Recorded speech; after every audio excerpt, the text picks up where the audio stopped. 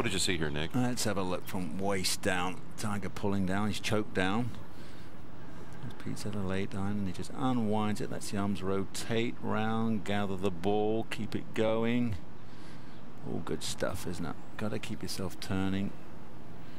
Got to picture the shot first and then deliver a follow through to match what you see. Back over to the second, Gary.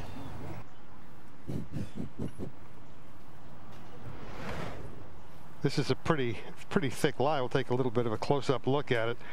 You can see the raindrops and watch how he stabilizes that club going through there. The back of the left hand never breaks down. Ball pops up, spinning.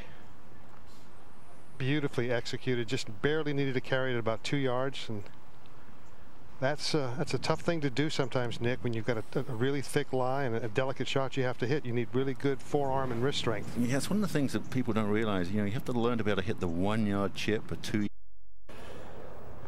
And we're going to have Peter Kostis take a look at that golf swing of Tiger Woods. With the help of our Konica Minolta BizHub Swing Vision camera. Just impeccable with his posture at address as he takes the club back halfway back point right there. The club is nicely parallel to the target line. Now this is going to be a knockdown shot, so you're not going to see a huge full shoulder turn out of Tiger like you normally will. Let's watch the cap on his uh, on his head. Just watch the visor, looking at the golf ball, looking at the golf ball, still looking at the golf ball. He keeps his head down and back a little bit extra long, trying to hit a knockdown draw. You see the ball starting out to the right and turning over just a little bit too much of it. When Tiger keeps his head down for that little bit extra long, Gary, he's trying to release the club a little more. When he lets the head rotate, then he's going for the 22 so far today, so we chalk him up for 23.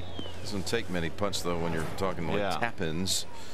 This is how you strike a wedge, folks. You've got to get the weight on the left foot. You've got to get the ball first, then the divot. How Still those legs are.